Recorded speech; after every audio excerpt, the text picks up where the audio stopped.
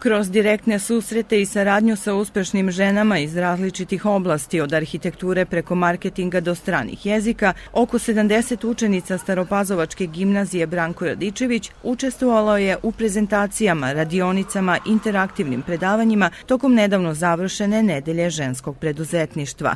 Veoma sam zadovoljna e, time što se uopšte podiže e, svest e, o tome kako žena može da bude samostalna i da bude preduzetnica, da ne zavisi ni od koga, da ne radi u nekim preduzećima i kompanijama u kojoj se neće ceniti toliko njen trud koliko sam čovjek vredi. Šta je najvažnije za otpočinjanje sobstvenog biznisa, pitali smo Sofiju Bursać. Ideja, definitivno ideja i puno rada, motivacija, trud, ali najbitnija ideja. Da li ti imaš dobrih ideja?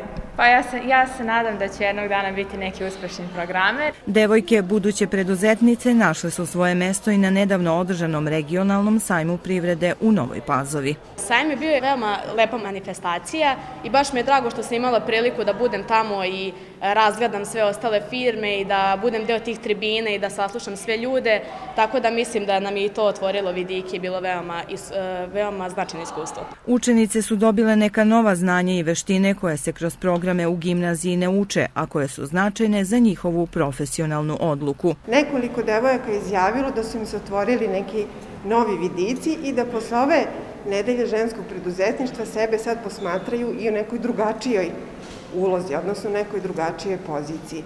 Svi koji smo učestvovali u ovom ovaj, projektu i škole, dakle tu je dosta zaposlenih bilo angažovano, sad smo sigurni da smo ih na neki način ohrabrili. U okviru aktivnosti karijernog vođenja i savetovanja gimnazija Branko Radičević provodi projekte poput projekta Senka na poslu. Mi komuniciramo, kontaktiramo sa tim preduzetnicima, da li su to lekari, da li su to ovaj, pravnici ili bilo koja koja, koje zanimanje njima odgovara, mi ih spojimo i onda oni imaju mogućnost da idu jedan, dva, tri dana, pa čak i po mesec dana da budu ovaj, pored tog stručnjaka da prate šta, ta, šta taj poziv ovaj, zahteva i očekuje. Oba pomenuta projekta finansijski je podržao Pokrajinski sekretarijat za obrazovanje propise, upravu i nacionalne manjine.